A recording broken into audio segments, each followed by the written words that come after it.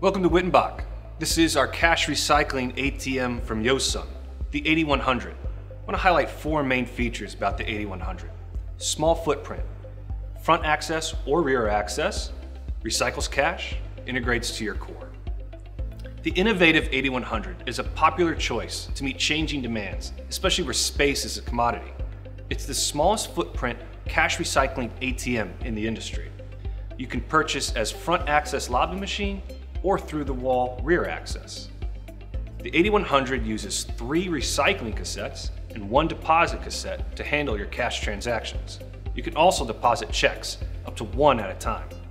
When you integrate this cash recycling ATM to your core, you're providing a branch transformation machine that on average can handle up to 90% of banking transactions.